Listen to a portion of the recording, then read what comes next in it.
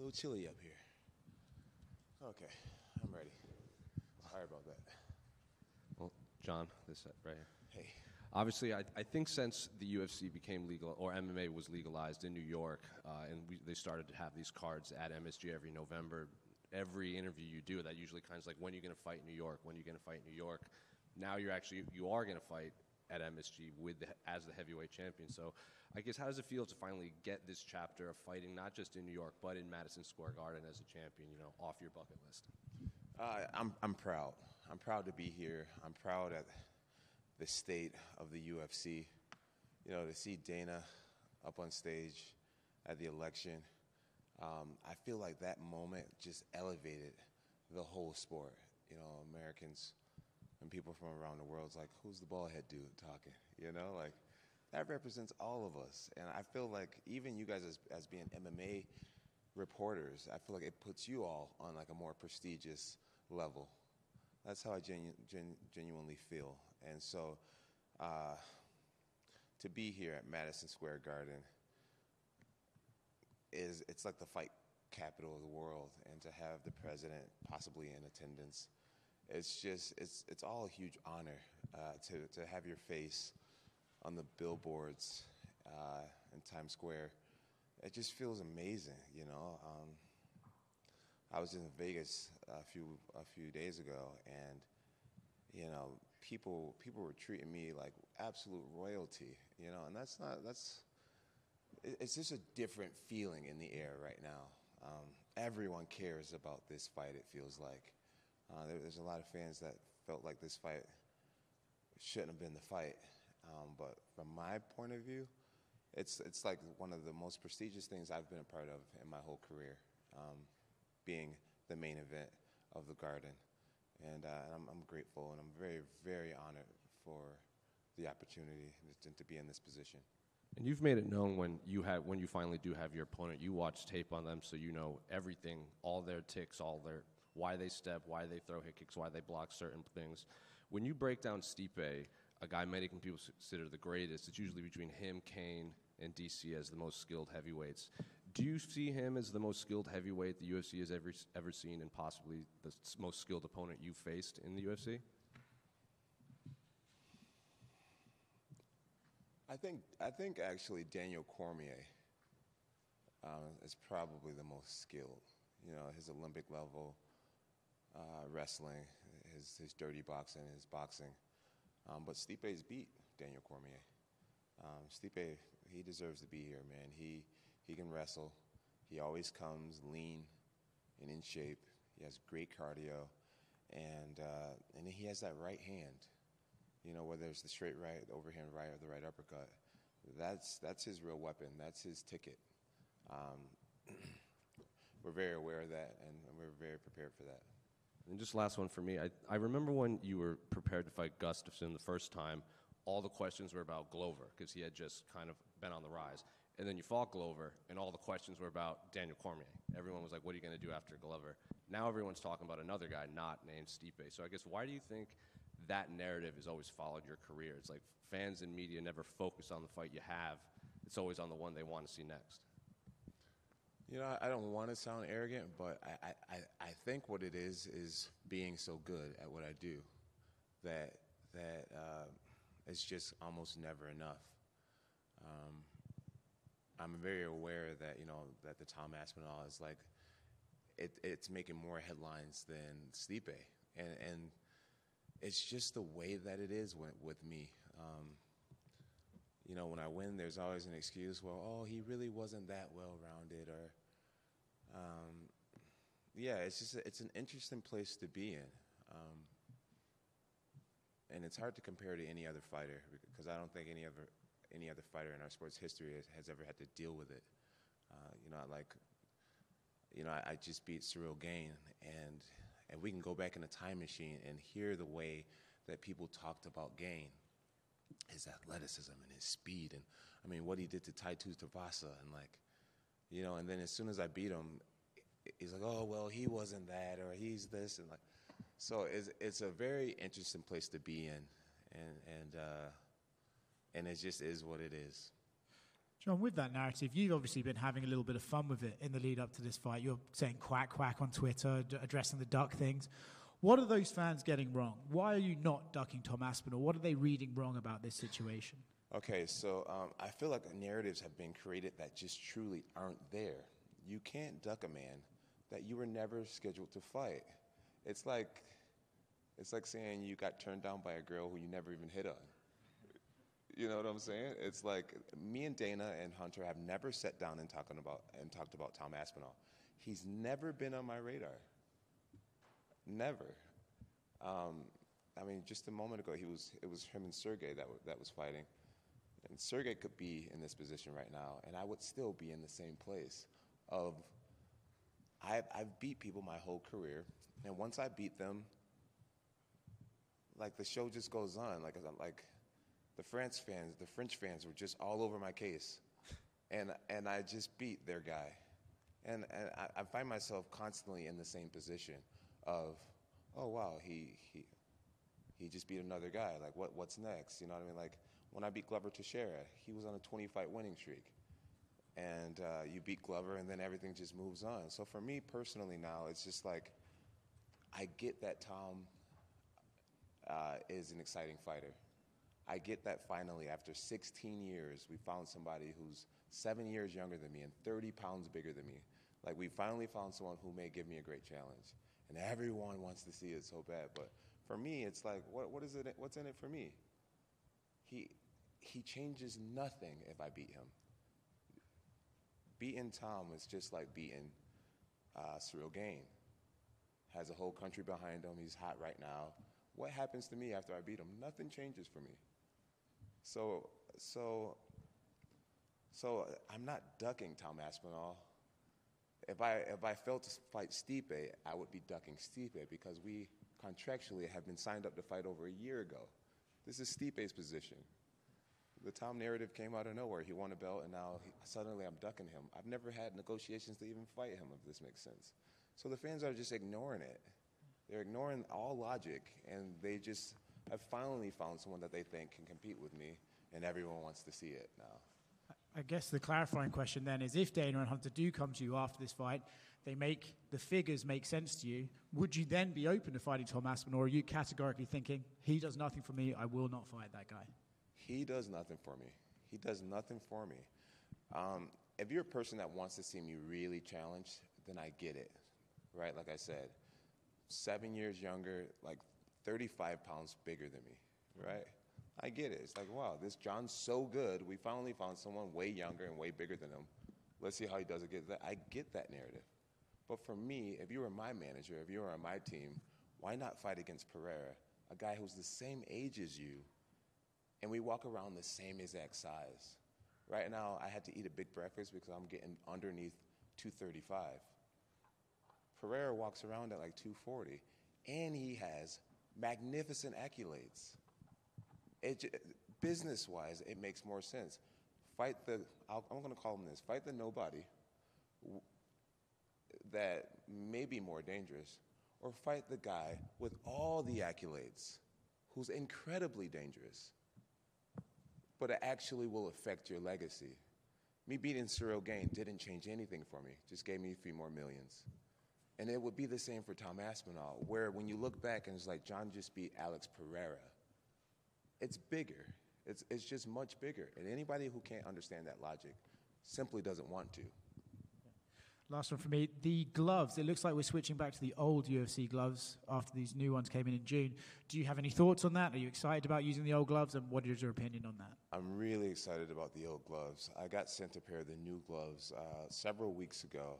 I tried them on and I thought they were they were tight. I, I used to fit an XL, and then the new glove I had to put on a 3XL. Uh, the, the shape, curving your hands like that, I, I, they were very uncomfortable for me. And, and I was actually really stressed thinking about how am I going to go into fight week wearing these gloves that I, I don't even want to train in. Uh, so when I got a phone call uh, recently, Hunter said, you know, everyone on this card are, are veterans. Why put a bunch of vets in, in a new glove? Let's give you guys all what you're used to. It was a major relief to my coach, Brandon, who wraps my hands. It was a major relief to me as well. Jon, over here to your right. Uh, so Dana calls you the greatest fighter of all time. Many people agree with you. Agree with that. I agree with that. That said, a lot of the other goats in other sports, Tom Brady, Usain Bolt, Simone Biles, those kind of people, they kind of sidestep the, the goat talk and, and but you like embrace it and you'll, you'll be online and, and you almost seem insulted if anybody s- says someone else is. Like, why, why is it so important to you? You know, I, don't know if I agree with me being insulted if, if they say anybody else is. Um, Dana, Dana definitely advocates for me. True. Um, I think more than I advocate for myself, and, it, and it means a lot. Um, MMA is just a different sport. You know, like throwing a football is very tough, and I, I'm a massive Tom Brady fan. I'm a massive LeBron James fan and Michael Jordan fan, and you name all the greats in the other sports. But but fighting transcends a lot. It's just different. I mean, you get billionaires in their office, and, and you look in their office, and they have pictures of Muhammad Ali. You know, you can be black, white, Jewish, Muslim, Christian, and, and, and people, people just look up to fighters uh, differently. Um, it, it's, just, it's just a different, it's a different thing to wear. It's a different honor to have. It's a different badge to possess. And, uh, you know, Muhammad Ali himself, he, he went around and he said, I am the greatest, you know, and, and we, we remember that to this day. You know, I could walk around and say, I am the greatest, and you would know I was referencing Muhammad Ali. Um, and even Mike Tyson, you know, like with his greatness, it's, it's, it's a different, it, it, it's polarizing in a different way. And um, if I've gotten this close to be considered in that realm of conversation, then I might as well embrace it. And I might as well advocate for myself because because reaching this reaching this this uh, reaching this this level it just doesn't come often. What I've done is a really special thing, and and uh, sometimes you got to be your own your own biggest cheerleader. And, and in this case, I, I want to be that. I, I want to stand up for that. My mom, who's not here anymore, she will want me to do that. Well, Last one for me. Uh, I, agree that the Alex Pereira fight would be massive. Obviously, the accolades. I think it's a really strong argument you make. That said, I think one of the critiques people have is not that you picking Alex over Tom. It's the he he doesn't deserve the fight me statement. When you compare his career at this point to when you got a title shot, he has more wins, more stoppages, more wins against ranked opponents, more main events he's got the interim title. So what is your response to people saying like not that you you take it Alex Pereira? I mean, that, gosh, the guy's amazing. Right. But but the Tom doesn't deserve me comment. Well, maybe, maybe I didn't. Maybe I didn't phrase it right. Maybe I didn't phrase it right. You know, the, the truth is, he does deserve uh, many great things in his life, and I, I wish him to have a magnificent UFC career. I really do. Um, I have nothing personal against Tom. Um, so maybe I shouldn't have said that he doesn't deserve, because he does deserve great things. What I'd like to see him do is go on and have a great career. You know, so, so many times people like to just try to go straight to the top, you know? And if, if we're in a business setting where he is and where I am, he wouldn't even, he wouldn't even be crossing paths with me. He wouldn't even be talking to me. You know what I'm saying? That's just what it is. Um, it's not about what Tom deserves or don't deserve. I believe it's what I do deserve. And after this many years with this company and all the work that I've put in, I believe I'm at a place where I deserve to be able to say, I don't want to fight that guy. I want to fight this guy. I want to fight that guy. And that's why I'm be more than willing to relinquish the belt. I don't feel like I need the heavyweight championship of the world. I feel like what I've created for myself is almost bigger than belts.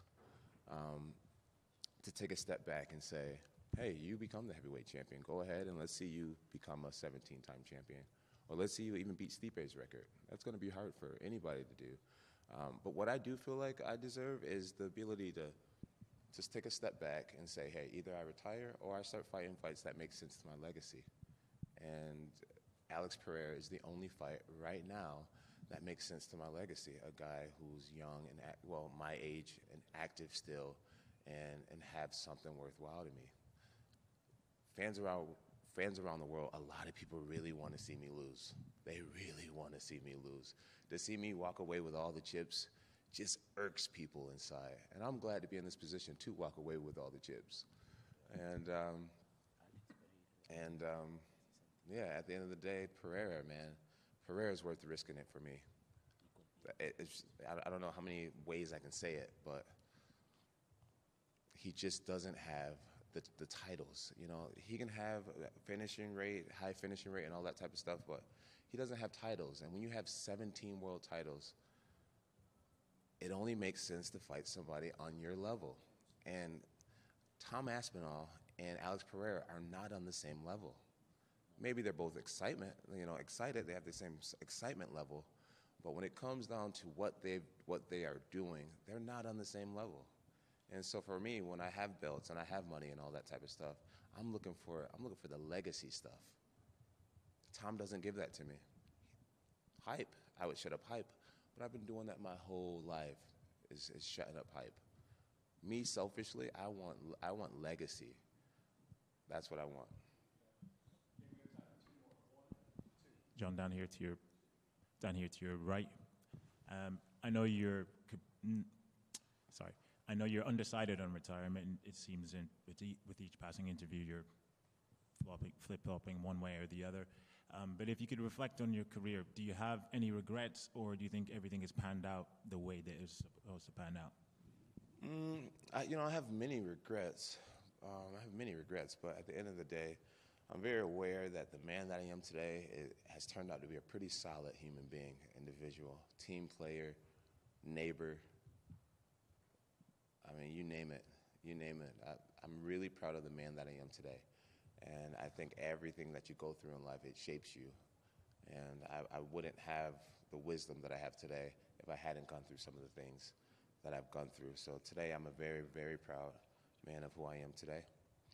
And um, yeah, it's, it's been a great career. I'm not sure if I answered your question. And as far as and as far as retirement, um, the idea for me is to go out there and beat Stipe. You know how how rude of it of us is it to just be completely looking past Stipe already. Um, so the, the main goal is to get past Stipe, and if I can do it in a really dominant, devastating fashion, then uh, the desire in my heart would be like, okay, now now it's Alex Pereira. And if the UFC doesn't uh, want that to happen, because ultimately it's the boss's decision, then it won't happen. And, and I'll just move on with my life. Um, but one of the ways I look at it is would you guys rather lose me or get one more super fight? And the only super fight that makes sense to me, not to everyone else, but to me and my team, is Alex Pereira. All right, and what would you say is your favorite moment of your career? Favorite moment in the career would be back in 2011.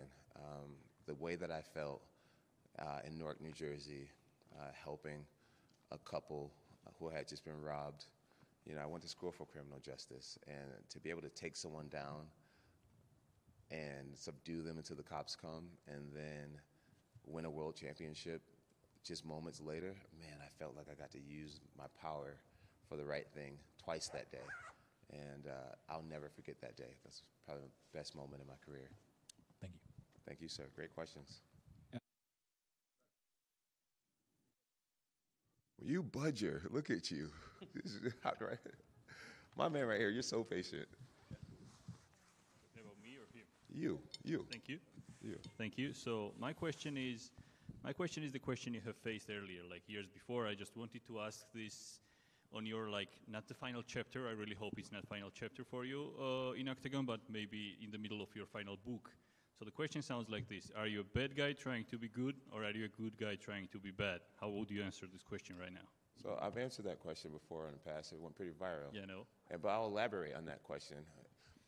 Um, some people are not going to want to hear this, but in the Christian faith, we believe that we're all born into sin.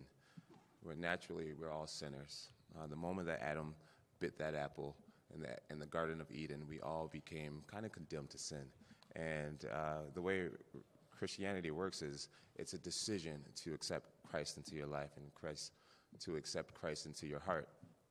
And so naturally, my nature is is uh, of, a one of sin, and that's all of us. And and uh, I believe that it's our job to, uh, to try to do the right things and to try to walk in the light instead of the darkness. And so That's what I meant when I answered that question. I think we are all rotten at the end of the day and trying to do the right things. That's an amazing answer. Thank you, Jon. Thank you. Hey, Jon, just quick, just a quick one for you, man. And I, I think uh, it's been great. I, like your answers have seemed really honest, and it's like, yes, Alex Pereira, from a business standpoint, makes more sense than Tom. And I also thought it was great that you were like a guy seven years younger, 30 pounds heavier. You know, like I get it why fans want to see it. And maybe some fans want to see you lose, but I also think fans just want to see you like really challenged. Like like they see you as like you're this greatness, and we want to see greatness challenged. Like a lot of people, their favorite fight of yours is is Alexander Gustafsson. You know, so is there still a part of you like as a competitor that that is drawn at all to to, to that? Like like I, I hear everything that you're saying, but I also like, and maybe that's just something about like getting older and what you've accomplished in your career. But I think that's why people want to see it. It's like they see it as like this great challenge. They want to see greatness challenge. Like, does that does that entice you at all? Still, There's a part of it that does, but if I'm being completely honest, I feel like Tom's been such an asshole that I don't want to do business with him. You know, it's just like his fans have been so annoying, and uh, obviously you don't get this far in, in a career being affected by fans or, or whatnot. But he he's just an asshole.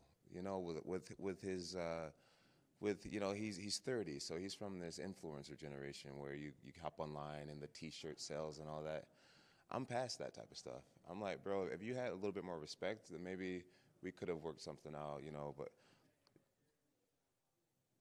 i just don't i just don't even want to do business with him you know at the end of the day this is a business and fighting me gives him an opportunity to change his life forever and i i, I don't even want to give him the opportunity like he, he, he just played his cards wrong with me personally and and you know, I'm I'm, I'm three years from being a 40 year old grown man.